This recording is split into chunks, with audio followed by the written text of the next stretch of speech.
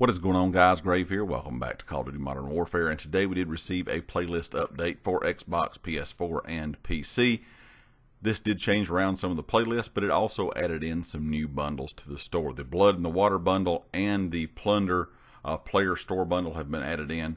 No new uh, operator bundles or anything like that yet, but those two uh, weapon bundles or those two bundles that were added in are pretty cool looking, especially the Blood and the Water because that is the shark skin for the shotgun, for, for the Feeding Frenzy shotgun blueprint. So it is pretty sharp looking in my opinion.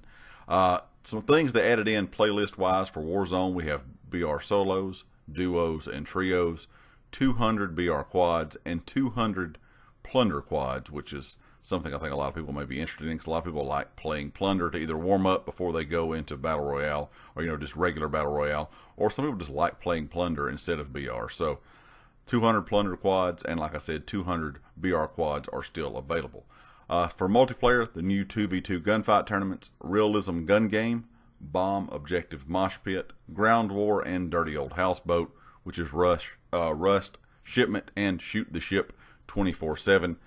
I know that's probably not everybody's favorite. I think a lot of people wish they would just leave Shipment and Shoot House 24 7 in all the time. I think a lot of people aren't really a big fan of Rust. I liked it in some of the older CODs, but in this game, I'm not really a big fan of that 24-7 on Rust, personally. Anyway, guys, leave me a comment with your thoughts. And, of course, if you like the video, hit the like. If you have not subscribed yet, please do so. If you are a subscriber, make sure you click the bell icon up in the top right corner so you know when all my videos go live. If you have a chance to share the video, please do. It does help out the channel a lot. And be sure to check out the affiliate here on the channel, GT Racing. They sell gaming chairs, gaming desks, mice, keyboards, all kind of stuff for your gaming needs and all their information is linked down in the description. And I'll catch you all next time. Peace.